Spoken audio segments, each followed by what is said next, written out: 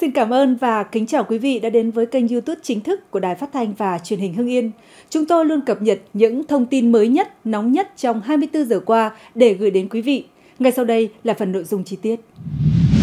Mới đây, Phòng Cảnh sát Hình sự Công an tỉnh Bình Dương thông tin thêm về vụ Nguyễn Minh Hoàng sinh năm 2005, ngụ xã Phước Hòa, huyện Phú Giáo, tỉnh Bình Dương, sát hại cụ bà 75 tuổi làm nghề nhặt ve chai. Qua làm việc, Hoàng khai do thiếu tiền tiêu xài nên đã nảy sinh ý định đi cướp tài sản.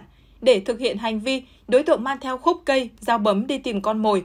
Nạn nhân là bà NTM, 75 tuổi, ngụ xã Phước Hòa, huyện Phú Giáo, tỉnh Bình Dương. Khoảng gần 2 giờ ngày 30 tháng 3, Hoàng điều khiển xe mô tô biển số 61K1 chạy trên các con đường ở xã Phước Hòa tìm người để cướp. Khi thấy bà M đang dựng xe máy để nhặt ve chai trước cổng sau trường mầm non ở xã Phước Hòa, Hoàng đã dừng lại quan sát. Sau khi nhặt xong, bà M quay lại xe máy để ra về, thì Hoàng đi bộ ra phía sau và dùng cây tác động mạnh vào sau gáy. Khi bà M té xuống đất kêu cứu, Hoàng tiếp tục dùng dao bấm ra tay nhiều nhát vào sau cổ nạn nhân. Khi thấy máu chảy ra nhiều, Hoàng lấy xe máy và cầm hung khí rời khỏi hiện trường. Về đến nhà, Hoàng rửa hung khí gây án rồi cất trên đầu tủ quần áo. Đối với thông tin Hoàng đang là thành viên của lực lượng dân phòng xã Phước Hòa, lãnh đạo công an tỉnh Bình Dương cho biết Người này đang trong giai đoạn thử việc, bước đầu xác định động cơ gây án là để cướp tiền nhưng chưa cướp được. Như tin đã đưa, dạng sáng 30 tháng 3, người dân sống tại một khu dân cư ở xã Phước Hòa, huyện Phú Giáo đã phát hiện một cụ bà nằm chết, bên cạnh là chiếc xe máy có chở ve chai. Nhận tin báo, công an đã có mặt bảo vệ hiện trường, lấy lời khai nhân chứng. Ban đầu tất cả đều nghĩ đây là vụ tai nạn giao thông, tuy nhiên qua kiểm tra thì trên người nạn nhân có nhiều vết thương do hung khí gây ra, nên vụ việc nhanh chóng được trình báo lên Công an tỉnh Bình Dương. Nhận được tin báo, Phòng Cảnh sát Hình sự Công an tỉnh Bình Dương đã nhanh chóng phân công lực lượng, tổ chức phối hợp với các đơn vị có liên quan khám nghiệm hiện trường, khám nghiệm tử thi. Công an tỉnh Bình Dương sau đó đã tới phối hợp cùng Công an huyện Phú Giáo khám nghiệm điều tra, trích xuất camera để truy bắt thủ phạm. Bằng nhiều biện pháp nghiệp vụ, lực lượng xác định đối tượng gây án là Nguyễn Minh Hoàng nên đã mời làm việc sau một hồi quanh co chối cãi, biết không thể thoát nên Hoàng đã thừa nhận hành vi sát hại người. Điều đáng nói, Hoàng là thành viên trong lực lượng dân phòng đang làm việc tại xã Phước Hòa. Sau khi gây án, người này vẫn có mặt tại xã để làm việc như bình thường, mặc áo dân phòng cùng công an, truy tìm hung thủ gây án. Mới đây, theo thông tin từ Văn phòng Cơ quan Cảnh sát điều tra Công an tỉnh Đắk Lắk cho biết, đã ra quyết định tạm giữ hình sự đối tượng Y Phát Nie, 45 tuổi, trú tại thị trấn Eak, huyện Eak, tỉnh Đắk Lắk để điều tra về hành vi sát hại người. Theo kết quả điều tra ban đầu, khoảng 18 giờ 30 phút ngày 1 tháng 4, Y Phát đi nhậu về đến nhà ở tổ dân phố 4, thị xã Eak và nằm nghỉ. Không lâu sau đó, YH cũng đi nhậu về đến nhà và liên tục chửi bới xúc phạm chị gái. Thấy vậy Y Phát đi đến can ngăn thì xảy ra mâu thuẫn với YH. Lúc này IH đi ra sau nhà lấy một cây gậy gỗ dài khoảng 1,5 mét, quay lại đánh nhiều phát trúng vào người Y Phát và chị gái. Bị đánh đau, Y Phát giật được cây gậy gỗ rồi đánh trả một phát trúng vào vùng đầu của IH, khiến nạn nhân té xuống đất bất tỉnh. Tưởng anh trai say rượu nằm bất tỉnh nên Y Phát quay lại động viên chị gái. Một lúc sau, thấy anh trai vẫn nằm dưới đất nên Y Phát đi đến kiểm tra, phát hiện nạn nhân đã tử vong. Biết mình đã đánh mất mạng anh trai, Y Phát nhanh chóng nhờ người thân trở đến công an thị xã Eak đầu thú và khai nhận toàn bộ hành vi phạm tội. Hiện văn phòng cơ quan cảnh sát điều tra công an tỉnh Đắk Lắk đang tiếp tục điều tra, làm rõ vụ án để xử lý theo quy định của pháp luật. Trong quá trình thực hiện thi hành án, ông Hà Văn Hưng, Phó Tri Cục trưởng Tri Cục Thi hành án dân sự huyện Bảo Yên, Lào Cai, bị Bùi Khắc Minh dùng dao rượt đuổi dẫn đến ngã gãy xương quai xanh. Sự việc xảy ra vào khoảng 14 giờ 45 phút ngày 2 tháng 4 năm 2024. Tri Cục Thi hành án dân sự huyện Bảo Yên cùng lực lượng chức năng phối hợp tổ chức thực hiện thi hành án dân sự đối với ông Bùi Khắc Minh và bà Phạm Thị Hiếu tại tổ 2A, thị trấn Phố Ràng, huyện Bảo Yên, tỉnh Lào Cai, theo bản án đang có hiệu lực pháp luật. Trong quá trình tổ chức thi hành án, ông Bùi Khắc Minh liên tục chống đối, không chấp hành việc thi hành án, có lời lẽ xúc phạm, đe dọa, thách thức những người thực thi nhiệm vụ. Đỉnh điểm, ông Minh đã cầm dao rượt đuổi ông Hà Văn Hưng, sinh năm 1974, Phó Tri Cục trưởng Tri Cục Thi hành án dân sự huyện Bảo Yên, khiến ông Hưng bị ngã dẫn đến chấn thương. Ngay sau khi xảy ra vụ việc, ông Hưng đã được đưa đi bệnh viện cấp cứu và được chẩn đoán gãy xương quai xanh. Hiện đã được chuyển lên Bệnh viện Đa khoa tỉnh Lào Cai để điều trị. Trao đổi với phóng viên, ông Đỗ Ngọc Ba, Cục trưởng Cục Thi hành án dân sự tỉnh Lào Cai cho biết, ngay sau khi xảy ra vụ việc, phía Tri Cục Thi hành án dân sự huyện Bảo Yên đã báo cáo lãnh đạo cục. Hiện đơn vị đang phối hợp với Công an huyện Bảo Yên, Viện Kiểm sát Nhân dân huyện Bảo Yên yêu cầu xử lý nghiêm hành vi chống người thi hành công vụ của Bùi Khắc Minh và vẫn thực hiện việc tổ chức cưỡng chế để đảm bảo tính nghiêm minh của pháp luật. Sáng mùng 3 tháng 4, lực lượng chức năng vẫn đang huy động lực lượng tổ chức truy bắt phạm nhân trốn trại giam ở Thanh Hóa. Theo nguồn tin, sau khi trốn khỏi trại giam tại Thanh Hóa, phạm nhân Mai Văn Đệ, sinh năm 1991, quê Hải Giang, huyện Hải Hậu, tỉnh Nam Định, đã đi nhờ xe máy, sau đó bắt taxi di chuyển về huyện Hà Trung, tỉnh Thanh Hóa. Theo nguồn tin cho biết, phạm nhân này bắt taxi tới một cây xăng xã Hà Đông. Khi tài xế taxi vào đổ xăng, phạm nhân này đã ngồi sang ghế lái điều khiển xe chạy về hướng xã Hà Lĩnh. Khi tới khu vực giáp danh hai xã, người này bỏ xe lại bên quốc lộ 217, nhiều khả năng phạm nhân trốn lên khu vực rừng thông. Một lãnh đạo Ủy ban Nhân dân xã Hà Lĩnh cho biết, trong đêm mùng 2 tháng 4, xã đã huy động lực lượng phối hợp với các cơ quan chức năng chốt chặn tại nhiều vị trí, thông báo vụ việc trên loa phát thanh để cảnh báo người dân. Trước đó, thông tin từ Công an Thanh Hóa cho biết đêm mùng 2 tháng 4, cơ quan này đã phát đi thông báo khẩn về việc truy tìm một phạm nhân trốn trại giam đóng trên địa bàn tỉnh này. Theo đó, phạm nhân trốn khỏi trại là Mai Văn Đệ, sinh năm 1991, quê Hải Giang, huyện Hải Hậu, tỉnh Nam Định. Khi bỏ trốn, đối tượng mặc áo phông màu xanh, quần đùi kẻ ô vuông. Trong khi bỏ trốn, phạm nhân này đã cướp taxi, sau đó bỏ lại chiếc xe taxi tại địa bàn xã Hà Lĩnh, huyện Hà Trung, Thanh Hóa và bỏ trốn. Công an huyện Hà Trung cũng đã phát đi thông báo tới người dân cảnh giác tự bảo vệ bản thân và gia đình. Để phục vụ cho việc truy tìm phạm nhân, Công an tỉnh Thanh Hóa đề nghị nếu ai có thông tin thì thông báo ngay cho Phòng Cảnh sát Hình sự Công an tỉnh theo số điện thoại 02373 858 252 hoặc 0366 695 588. Liên quan đến việc truy bắt phạm nhân trốn trại ở Thanh Hóa, tài xế Nguyễn Văn Mạnh, người bị lấy mất xe taxi cho biết sau khi bị cướp xe và biết vị khách là đối tượng trốn trại, đến bây giờ ông vẫn còn hoang mang lo sợ.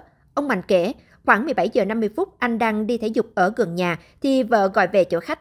Đối tượng nói đang làm công nhân ở công trình xây dựng trên địa bàn xã Hà Đông. Do nhà có việc đột xuất nên thuê anh Mạnh chở ra quốc lộ 1A để bắt xe về Hà Nội. Tôi không biết đó là phạm nhân trốn trại, đang bị công an truy tìm nên đã nhận lời. Theo quan sát của anh Mạnh, phạm nhân đệ có biểu hiện giống người nghiện ma túy, cơ thể gầy gò, yếu ớt, lại bị thương ở chân. Nghi ngờ vị khách không có tiền nên ghé cây xăng ở gần nhà đổ xăng nhằm mục đích yêu cầu trả tiền trước mới tiếp tục hành trình.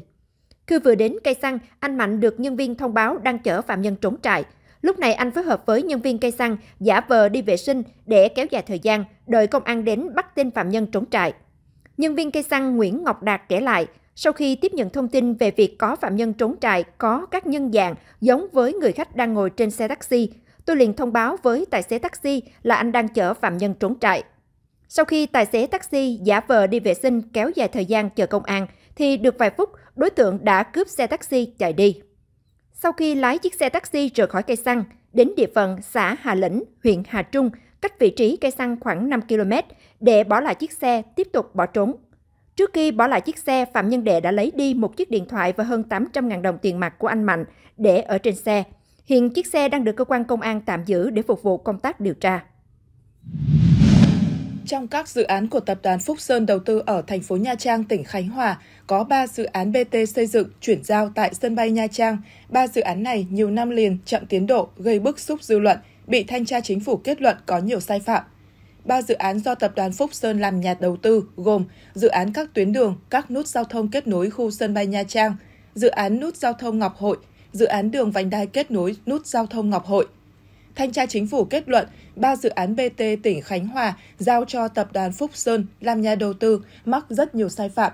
Đó là không thực hiện đúng các cam kết mà tỉnh đã trình để được Thủ tướng đồng ý về nguyên tắc cho phép áp dụng hình thức lựa chọn nhà đầu tư trong trường hợp đặc biệt. Tổng mức đầu tư các dự án BT mà Ủy ban Nhân dân tỉnh Khánh Hòa đã phê duyệt, giao cho Phúc Sơn thực hiện đã tăng hơn 484 tỷ đồng so với tờ trình của tỉnh và văn bản được Thủ tướng chấp thuận tháng 7 năm 2016. Trong khi đó, thời gian thực hiện các dự án BT của Phúc Sơn lại tăng lên thêm 30 tháng. Các dự án BT đó không hoàn thành đưa vào sử dụng đúng hợp đồng vào cuối năm 2017. Mặc dù đã được tỉnh gia hạn đến tháng 6 năm 2021, nhưng đến thời điểm thanh tra, Phúc Sơn chỉ thi công đạt 27% khối lượng xây lắp. Tổng giá trị đầu tư chỉ tương đương 558 tỷ đồng xây lắp và 394 tỷ đồng chi phí đền bù giải phóng mặt bằng. Việc lập, thẩm định, phê duyệt về dự án, ký kết hợp đồng các dự án BT với Phúc Sơn lại có các sai sót về định mức, đơn giá, biện pháp thi công, làm tăng tổng mức đầu tư lên gần 500 tỷ đồng. Thanh tra Chính phủ cũng kết luận những sai phạm về việc Ủy ban Nhân dân tỉnh Khánh Hòa tiếp nhận quỹ đất sân bay Nha Trang từ Bộ Quốc phòng và đồng thời bàn giao luôn cho công ty Phúc Sơn tháng 12 năm 2015 khi chưa có quyết định thu hồi đất, giao đất, cho thuê đất là không đúng quy định của luật đất đai năm 2013. Theo kết luận thanh tra, trong hơn 10 năm qua, Tập đoàn Phúc Sơn và các công ty thành viên thuộc doanh nghiệp này đã được giao nhiều dự án đất đai, hợp đồng xây dựng các công trình, khai thác tài nguyên khoáng sản, các dự án khu đô thị và dự án BT đổi đất, hoàn vốn tại sân bay Nha Trang cũ. Trong đó, các dự án BT giao thầu cho Phúc Sơn làm nhà đầu tư đã giao đất hoàn vốn tại sân bay Nha Trang và Phúc Sơn đã phân lô bán nền từ năm 2017, nhưng đến nay đều chưa hoàn thành theo đúng hợp đồng đã ký kết và nhiều lần gia hạn. Dự án khu đô thị Phúc Khánh 2 cũng được cấp giấy chứng nhận đầu tư cho Phúc Sơn vào năm 2014. Chủ đầu tư sau đó xin điều chỉnh tiến độ dự án giai đoạn 1 hoàn thành công tác giải phóng mặt bằng, tái định cư vào năm 2023 Giai đoạn 2 hoàn thành đầu tư toàn bộ các công trình trên đất vào cuối năm 2026. Tiến độ đề ra là như vậy, nhưng đến nay dự án chỉ mới thi công được một số hạng mục nhỏ như cống thoát nước, đoạn đường ngắn. Hai dự án gây nhiều khiếu nại tố cáo do nhiều cư dân bị ảnh hưởng, thu hồi đất giao cho Phúc Sơn thực hiện các dự án kinh doanh các khu đô thị Phúc Khánh 1, Phúc Khánh 2, đến nay cũng thành dự án treo. Theo Trung tướng Tô Ân Sô, để dẫn đến vi phạm trên có thể thấy trách nhiệm của cơ quan quản lý là không kiểm soát hoạt động kê khai tài chính. Mặc dù doanh nghiệp không thực hiện đầy đủ nghĩa vụ tài chính, thuế mà vẫn hoạt động, không nắm được năng lực thực tế của doanh nghiệp khi nhận dự án. Thông tin từ Sở Lao động Thương binh và Xã hội tỉnh Quảng Ninh vào khoảng 0 giờ 20 phút ngày 3 tháng 4 tại công ty than thống nhất Tập đoàn Công nghiệp than khoáng sản Việt Nam KTP ở thành phố Cẩm Phả, Quảng Ninh xảy ra sự cố tại gương lò XV5140 số 2, phân xưởng đào lò 2, khiến 4 công nhân tử vong và 7 người khác bị thương. Lò đào nơi xảy ra sự cố có diện tích 23 m2, chống thép SVP27, bước chống 0,5 m trên một vị. Lò đã được đào 240 m trên thiết kế 380 m. Bước đầu xác định nguyên nhân sự cố do cháy khí metan. Bốn công nhân xấu số là các anh Trần Văn Bảo sinh năm 1989, trú tại Lục Hồn, Bình Liêu, Quảng Ninh, Nguyễn Thành Luân sinh năm 1987, trú tại Đoan Hùng, Phú Thọ, Tạ Văn Nhâm sinh năm 1990, trú tại Phổ Yên, Thái Nguyên, Lê Văn Huyên sinh năm 1991, trú tại huyện Hòa An, tỉnh Cao Bằng. Ngoài 4 nạn nhân tử vong, còn có 7 công nhân khác bị thương đang được điều trị tại Bệnh viện Đa khoa tỉnh Quảng Ninh. Ngay sau khi nhận được thông tin về vụ việc, Bí thư tỉnh ủy Quảng Ninh Nguyễn Xuân Ký đã chỉ đạo phân công lãnh đạo tỉnh đến hiện trường chỉ đạo cứu hộ. Chủ tịch Hội đồng thành viên Tổng Giám đốc các lãnh đạo TKV, Công ty than Thống nhất có mặt kịp thời chỉ đạo đội cấp cứu mỏ triển khai công tác cứu hộ. Đến khoảng 3 giờ 15 phút ngày 3 tháng 4, công tác tìm kiếm cứu nạn đã kết thúc. Các cấp chính quyền công ty than Thống nhất đang phối hợp hỗ trợ gia đình đưa nạn nhân về lo hậu sự chu đáo. Sáng cùng ngày, ông Nghiêm Xuân Cường, Phó Chủ tịch Ủy ban nhân dân tỉnh Quảng Ninh cùng đoàn công tác đã đến bệnh viện thăm hỏi động viên, trao hỗ trợ cho các công nhân bị thương và gia đình các nạn nhân. Cụ thể, tỉnh Quảng Ninh hỗ trợ 20 triệu đồng một người, trong tỉnh tử vong 18 triệu đồng một người, ngoài tỉnh tử vong hỗ trợ 5 triệu đồng một người bị thương. Nguyên nhân sự cố đang được các cơ quan chức năng tỉnh Quảng Ninh điều tra làm rõ. Trước đó, tại Quảng Ninh cũng xảy ra vụ sập hầm lò khiến 4 công nhân tử vong. Sự việc xảy ra vào tối ngày 26 tháng 8 năm 2023 tại phân xưởng khai thác 3 công ty cổ phần than vàng danh.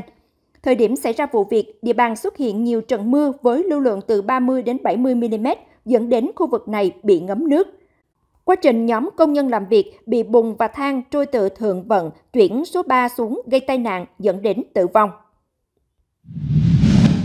Liên quan đến vụ cháy nghiêm trọng vừa xảy ra ở thành phố Hồ Chí Minh, ông Phạm Quang Tú, Phó Chủ tịch Ủy ban nhân dân quận 8 cho biết, nơi bắt nguồn cháy được xác định là bãi chứa vật liệu gỗ cũ phía sau nhà không số, kế bên số 206 sẹc 1 sẹc 20 đường Phạm Thế Hiển, phường 2 quận 8, nhà ven sông. Tại thời điểm xảy ra cháy, bãi chứa vật liệu gỗ cũ trên không có người trông coi.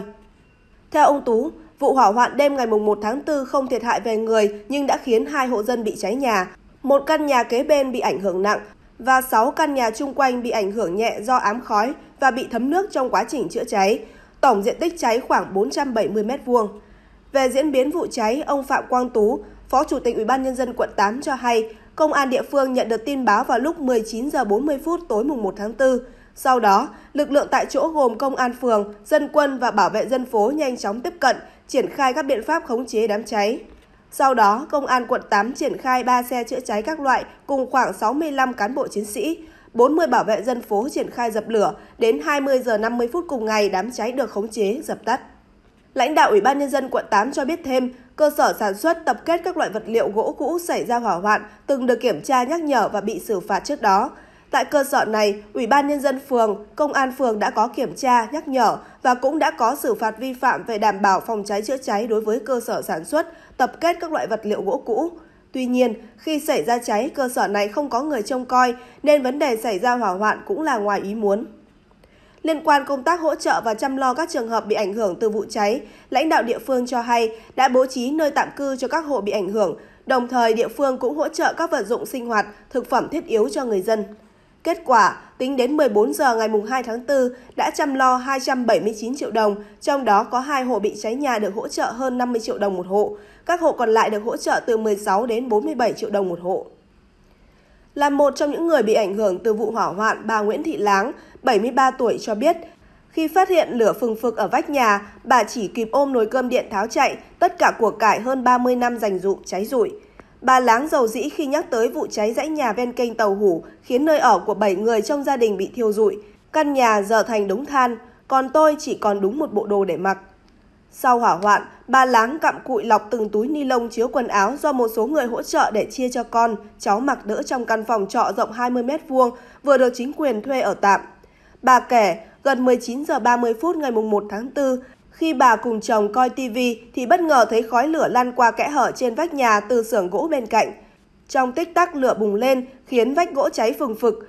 Giữa lúc hoảng loạn, bà ôm lấy nồi cơm điện ở gần tầm tay nhất chạy ra ngoài, còn chồng chỉ cầm mỗi cái laptop của cháu ngoại. Bà cho biết hàng ngày chồng bà cùng con trai và con rể đóng tủ, bàn ghế để bán cho các cơ sở nội thất hoặc có người đặt hàng. Thu nhập bấp bênh, chỉ vừa đủ sống nên toàn bộ đồ đạc là phần dành dụm suốt bao nhiêu năm tha hương. Bà Láng nói, đồ đạc cháy hết khoảng 100 triệu đồng, nhưng bây giờ khổ là không còn phương tiện để làm việc kiếm tiền. Cùng nằm trong dãy nhà cháy, hộ bà Lê Thị Thái Phương, 49 tuổi, được phường bố trí trọ cạnh phòng gia đình bà Láng. Khi phát hiện lửa quá lớn gần nhà mình, vợ chồng bà chỉ biết chạy ra ngoài, còn con trai 20 tuổi thì vội gom được một ít rách vở, quần áo và ôm chiếc tivi.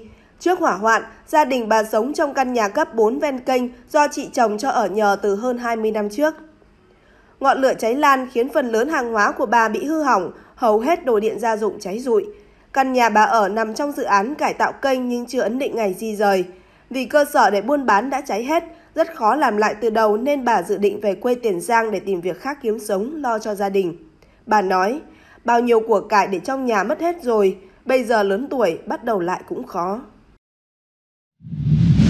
Mới đây, theo nguồn tin cho biết, bà Nguyễn Phương Hằng đã được trích xuất từ nơi đang thi hành án về trại giam Chí Hòa, Công an thành phố Hồ Chí Minh để phục vụ công tác xét xử trong phiên tòa phúc thẩm diễn ra ngày mùng 4 và mùng 5 tháng 4.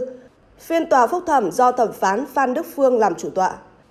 Phiên tòa được mở để xem xét kháng cáo của 4 bị cáo gồm Đặng Anh Quân, tiến sĩ luật, cựu giảng viên đại học, Nguyễn Thị Mai Nhi, trợ lý của Nguyễn Phương Hằng, Lê Thị Thu Hà, nhân viên công ty cổ phần Đại Nam và Huỳnh Công Tân, trưởng phòng truyền thông công ty cổ phần Đại Nam và hai người có quyền lợi nghĩa vụ liên quan trong vụ án.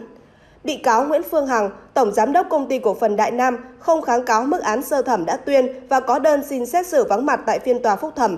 Bà Hằng bị bắt giam ngày 24 tháng 3 năm 2022. Trước đó, do chỉ một người có quyền và nghĩa vụ liên quan trong vụ án có mặt cùng hai luật sư, còn tất cả các bị cáo có kháng cáo vắng mặt nên phiên tòa phúc thẩm dự kiến diễn ra chiều ngày 11 tháng 3 phải hoãn. Trước đó, ngày 21 tháng 9 năm 2023, Tòa án Nhân dân thành phố Hồ Chí Minh xử sơ thẩm các bị cáo về tội lợi dụng các quyền tự do dân chủ, xâm phạm lợi ích của nhà nước, quyền, lợi ích hợp pháp của tổ chức cá nhân, tuyên phạt bị cáo Nguyễn Phương Hằng 3 năm tù, Đặng Anh Quân 30 tháng tù, Nguyễn Thị Mai Nhi, Lê Thị Thu Hà, Huỳnh Công Tân cùng 18 tháng tù. Hội đồng xét xử cấp sơ thẩm nhận định, từ tháng 3 năm 2021 đến tháng 3 năm 2022, bà Hằng sử dụng 12 tài khoản mạng xã hội, thực hiện nhiều buổi livestream phát ngôn có nội dung bịa đặt, xúc phạm nghiêm trọng uy tín, danh dự cá nhân, đưa lên không gian mạng những thông tin thuộc bí mật cá nhân của 10 cá nhân. Các bị cáo Nhi, Hà và Tân đã tạo lập, quản lý các trang mạng xã hội, chuẩn bị nội dung, từ đó cấu thành hành vi đồng phạm. Bị cáo Quân đã tương tác, tham gia bình luận trực tiếp với bà Hằng trong 11 buổi livestream, cổ vũ tinh thần, tiếp thêm ý chí cho bà Hằng thực hiện hành vi phạm tội. Tin từ phường Quảng Thành, thành phố Thanh Hóa, tỉnh Thanh Hóa xác nhận, trên địa bàn phường đã xảy ra một vụ án mạng do mâu thuẫn cá nhân. Theo thông tin ban đầu, vụ việc trên xảy ra khoảng 20 giờ 30 phút ngày 1 tháng 4 tại phố Thành Yên, phường Quảng Thành, thành phố Thanh Hóa, tỉnh Thanh Hóa.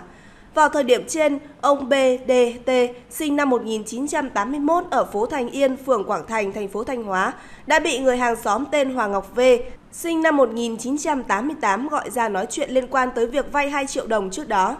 Trong lúc nói chuyện, do mâu thuẫn người đàn ông tên V đã dùng dao đâm nhiều nhát vào người ông T. Nạn nhân đã bỏ chạy tới trước cửa quán bia cách nhà khoảng 25 mét thì gục xuống và tử vong tại chỗ. Sau khi gây án, đối tượng tình nghi đã bị bắt ngay sau đó. Hiện vụ việc đang được Công an tỉnh Thanh Hóa phối hợp với Công an thành phố Thanh Hóa khám nghiệm hiện trường để điều tra, làm rõ nguyên nhân của vụ án. Mới đây, một lãnh đạo Ủy ban nhân dân tỉnh Đồng Nai xác nhận bà Nguyễn Thị Giang Hương, Chủ tịch Ủy ban nhân dân huyện Nhân Trạch vừa có đơn xin nghỉ phép năm. Bà Nguyễn Thị Giang Hương là người nghi bị đối tượng xấu sử dụng mạng công nghệ cao lừa hơn 170 tỷ đồng, gây xôn xao dư luận nhiều ngày qua. Vị lãnh đạo Ủy ban nhân dân tỉnh Đồng Nai này cho hay, Ủy ban nhân dân huyện Nhân Trạch đã phân công ông Nguyễn Thế Phong, Phó Chủ tịch Ủy ban nhân dân huyện Nhân Trạch, phụ trách khối quy hoạch xây dựng, tạm thời thay mặt giải quyết điều hành công việc thay cho bà Hương trong thời gian nghỉ phép theo thẩm quyền. Một lãnh đạo tỉnh Đồng Nai cũng xác nhận đã đồng ý cho bà Hương xin nghỉ phép năm để có thời gian giải trình. Trước đó, ngày 22 tháng 3, một lãnh đạo tỉnh Đồng Nai xác nhận với phóng viên, lực lượng công an tỉnh đang điều tra vụ chủ tịch Ủy ban nhân dân huyện Nhân Trạch nghi bị lừa 170 tỷ đồng. Theo trình báo của bà Nguyễn Thị Giang Hương, bà bị một nhóm người yêu cầu mở tài khoản, sau đó huy động tiền từ người thân nạp vào tài khoản. Sau đó bằng nhiều chiêu thức khác nhau, nhóm lừa đảo đã lấy tiền từ tài khoản của bà Giang Hương khoảng 170 tỷ đồng. Cũng liên quan đến vụ bà Giang Hương bị lừa đảo, đoàn công tác của Ủy ban Kiểm tra Trung ương Đảng cũng đã làm việc với tỉnh ủy Đồng Nai về vụ việc bà Nguyễn Thị Giang Hương, Chủ tịch Ủy ban Nhân dân huyện Nhân Trạch bị lừa đảo hơn 170 tỷ đồng. Đồng thời yêu cầu cung cấp hồ sơ liên quan đến cá nhân, đảng viên Nguyễn Thị Giang Hương thuộc diện cán bộ do Thường vụ tỉnh ủy Đồng Nai quản lý. Đến ngày 26 tháng 3, Thiếu tướng Tô Cao Lanh, Phó Cục trưởng Cục Cảnh sát Hình sự C02 cho biết, cơ quan điều tra của Bộ Công an đã nhận được thông tin – ngay khi nhận được thông tin, đơn vị chức năng của Bộ Công an và địa phương tích cực điều tra, khi có kết luận sẽ công bố, Thiếu tướng Tô Cao Lanh nói. Trong khi đó, lãnh đạo Cục An ninh mạng và Phòng chống tội phạm sử dụng công nghệ cao A05 thông tin hoạt động lừa đảo chiếm đoạt trên không gian mạng không phải mới nhưng ngày càng tinh vi. Theo lãnh đạo Cục A05, trước đây cơ quan chức năng tập trung phòng chống trên mạng xã hội, nhưng gần đây xuất hiện một số ứng dụng lừa đảo, Hiện A05 đang tập trung tuyên truyền cho người dân để nâng cao cảnh giác đối với loại tội phạm này. Mới đây, Công an huyện Thanh Trì, Hà Nội bắt người bị giữ trong trường hợp khẩn cấp, tạm giữ hình sự đối với Nguyễn Việt Cường, 19 tuổi, trú tại Thương Tín, Hà Nội, để điều tra về hành vi chống người thi hành công vụ. Theo tài liệu của cơ quan điều tra, khoảng 13 giờ ngày 1 tháng 4, tổ tuần tra kiểm soát của Công an huyện Thanh Trì làm nhiệm vụ trên đường Ngũ Hiệp, thôn Tương Trúc, xã Ngũ Hiệp, huyện Thanh Trì, thì phát hiện ô tô Mazda CX-5 mang biển kiểm soát 29A45000 có biểu hiện nghi vấn nên dừng xe kiểm tra nồng độ cồn. Khi Thượng úy Ngô Việt Anh yêu cầu tài xế hạ kính để kiểm tra nồng độ cồn, bất ngờ lái xe tăng ga lao vào tổ công tác và hất đại úy Đình Văn Ngọc lên nắp capo rồi tiếp tục bỏ chạy. Quá trình lái xe bỏ chạy, tài xế điều khiển xe lạng lách đánh võng, di chuyển được khoảng 200 mét thì đại úy Đình Văn Ngọc bị văng ngã xuống đất – còn tài xế Cường tiếp tục điều khiển xe bỏ chạy. Theo thông tin ban đầu, cú đâm đã làm đại úy Đình Văn Ngọc bị thương ở khuỷu tay trái, đầu gối phải, chấn thương phần mềm. Ngay sau khi vụ việc xảy ra, Công an huyện Thanh Trì phối hợp với các đơn vị nghiệp vụ khẩn trương xác minh yêu cầu chủ xe ô tô là NVT sinh năm 1992, trú tại huyện Thanh Trì, Hà Nội, đưa xe về Công an huyện Thanh Trì làm việc để phục vụ công tác điều tra. Chủ phương tiện khai nhận không phải là người điều khiển phương tiện mà cho mượn xe, lực lượng chức năng công an thành phố đã khẩn trương truy bắt. Đến 17 giờ 30 ngày 1 tháng 4, công an huyện Thanh Trì Hà Nội đã bắt được đối tượng Nguyễn Việt Cường. Đáng nói, cơ quan chức năng xác định Nguyễn Việt Cường có kết quả dương tính với ma túy. Chưa hết, cường đã có một tiền án về tội gây dối trật tự công cộng vào năm 2022 và bị xử 20 tháng tù treo, 48 tháng thử thách.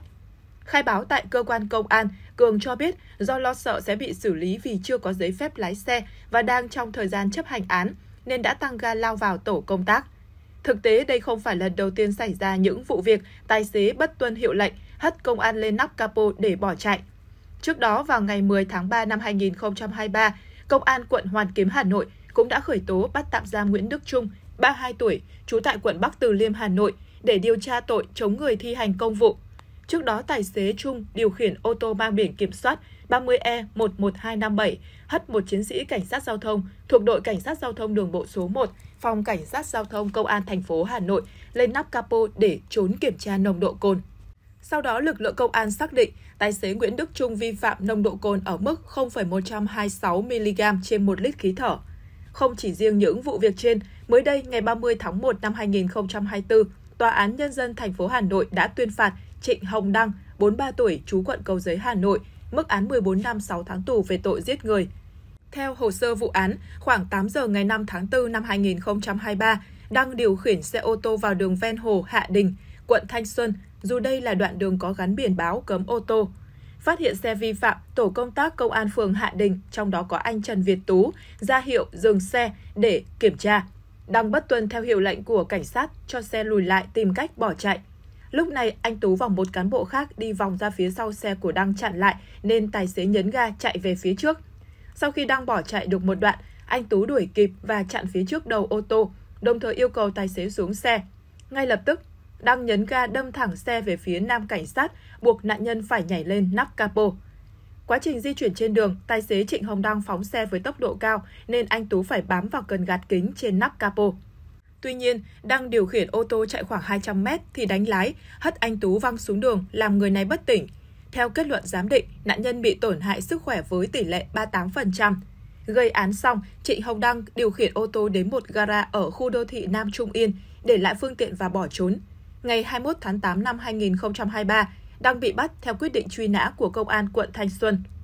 Theo hồ sơ, Trịnh Hồng Đăng từng bị Tòa án Nhân dân các cấp tuyên phạt nhiều bản án về các tội lừa đảo chiếm đoạt tài sản, lạm dụng tín nhiệm chiếm đoạt tài sản, trộm cắp tài sản và cướp tài sản.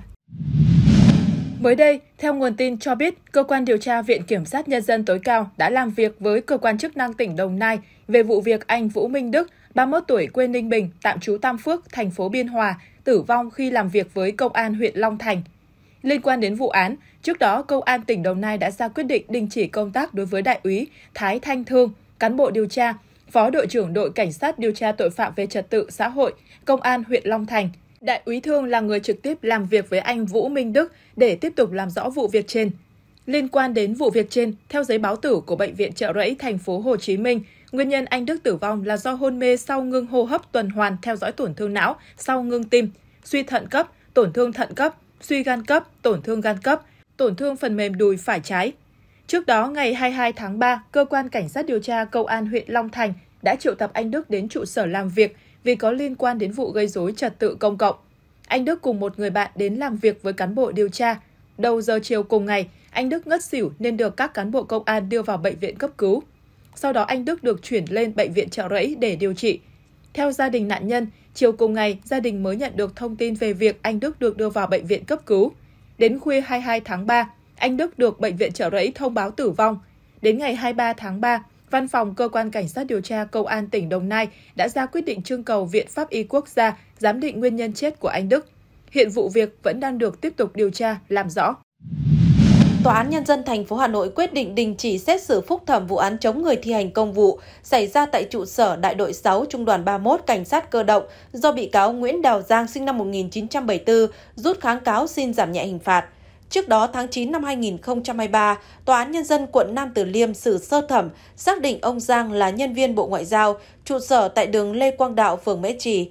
Theo hồ sơ vụ án, trưa ngày 14 tháng 2 năm 2023, sau khi uống rượu cùng bạn bè, ông Giang được đưa về trụ sở Bộ Ngoại giao. Khoảng 15 giờ 30 phút, ông Giang lấy xe ô tô Spander của mình, định đi về nhà ở phố Yên Hòa, nhưng vừa ra cổng đã buồn ngủ nên đỗ xe ở lề đường phía trước cổng ra vào trụ sở đại đội 6, trung đoàn 31, cảnh sát cơ động, số 2 Lê Quang Đạo cách Bộ Ngoại giao khoảng 50 mét. Khi đó, chị Nguyễn Thị Hương sinh năm 1991 là cán bộ đại đội 6 thấy vậy ra nhắc nhở yêu cầu ông Giang di chuyển xe ra chỗ khác, nhưng ông này không chấp hành mà còn xuống xe đi bộ vào bên trong đại đội 6. Thấy ông Giang có biểu hiện say rượu, mất kiểm soát, nữ cán bộ thông báo cho mọi người trong đơn vị. Lúc này nhiều cán bộ đại đội 6 ra nhắc nhở yêu cầu ông Giang ra khỏi đơn vị, nhưng ông Giang không chấp hành liên tục chửi bới, đấm vào mặt hai cán bộ cảnh sát cơ động. Khi bị giữ lại, ông Giang đã vùng ra đấm, cào khiến vài người xây xước nhẹ. Nhóm cảnh sát sau đó khống chế người này đưa vào trụ sở và gọi công an phường Mễ Trì đến giải quyết. Khi tổ công tác công an phường Mễ Trì đến đã giới thiệu bản thân và mời ông Giang về trụ sở để làm việc. Ông Giang tiếp tục chống đối, chửi bới và đánh, đá cán bộ công an phường Mễ Trì. Lực lượng chức năng đã lập biên bản bắt quả tang về hành vi chống người thi hành công vụ. Bản án sơ thẩm cho rằng hành vi của Nguyễn Đào Giang là nguy hiểm cho xã hội, xâm phạm đến hoạt động của cơ quan nhà nước về quản lý hành chính, gây mất trật tự trị an xã hội, cần phải xử lý nghiêm. Tuy nhiên, xét bị cáo có nhân thân tốt, phạm tội lần đầu, chỗ cư trú rõ ràng, nhất thời phạm tội nên tuyên phạt 6 tháng cải tạo không giam giữ, được trừ 9 ngày tạm giam bằng 27 ngày cải tạo không giam giữ. Về khấu trừ thu nhập, tòa án xác định ông Giang đã nghỉ việc ở Bộ Ngoại giao, chuyển sang làm việc tại công ty tư nhân với mức lương 2 triệu đồng một tháng, nên phạt bị cáo trong thời gian cải tạo phải nộp 100.000 đồng một tháng.